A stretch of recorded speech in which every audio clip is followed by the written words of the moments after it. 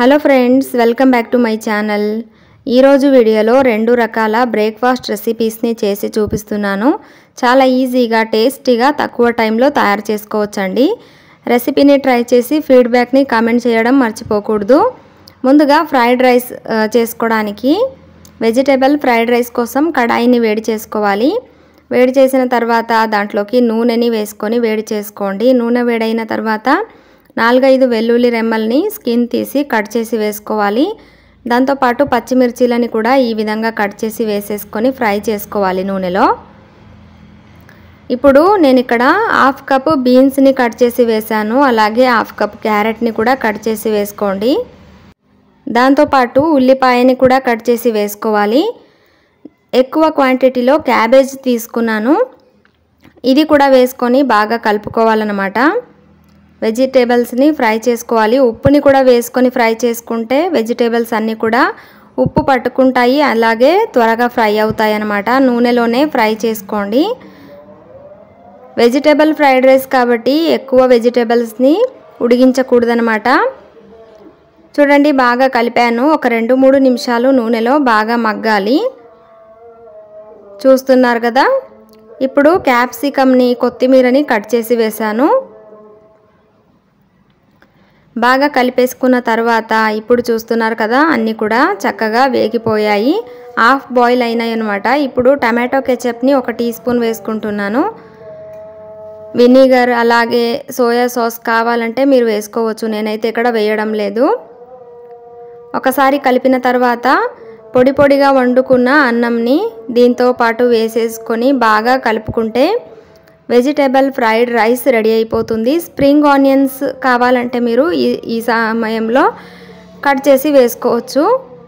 Taste చాలా బాగుంటుందండి. Try చేసి ఫీడ్బ్యాక్ని కమెంట్ చేయడం మర్చిపోకూడదు. కొత్తిమీర కావాలంటే లాస్ట్లో కట్ చేసి వేసుకోవచ్చు ఓకేనా?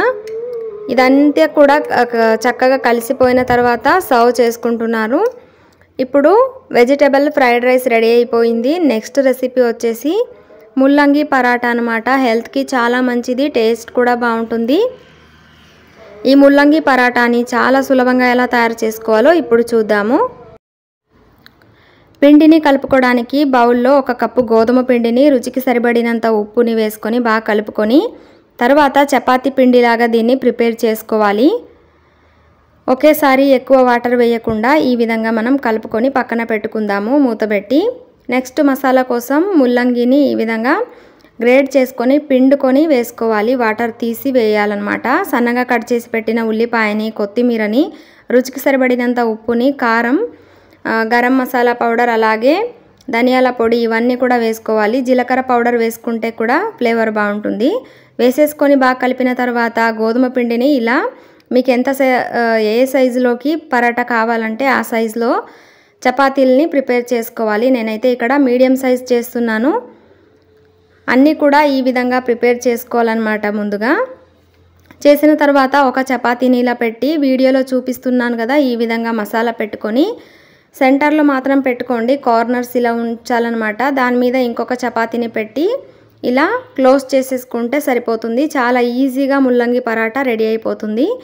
ఇదే విధంగా మిగతావన్నీ కూడా ప్రిపేర్ చేసుకొని నార్మల్ పరాటాని చపాతీని ఎలా మనం కాల్చుకుంటామో అదే విధంగా కాల్చుకోవాలి. నేనైతే ఇక్కడ బటర్ని వాడి రెండు వైపులా కూడా బాగా క్రిస్పీగా అయ్యేంత వరకు ఈ విధంగా కలర్ వచ్చేంత వరకు ఫ్రై చేసి తీస్తు తీస్తున్నాను అనమాట తప్పకుండా రెసిపీని ట్రై చేయండి. రెండు రెసిపీ రెసిపీస్ని కూడా మనం చాలా ఈజీగా టేస్టీగా తయారు చేసుకోవచ్చు. ట్రై చేసి కమెంట్ చేయండి. Thank you for watching.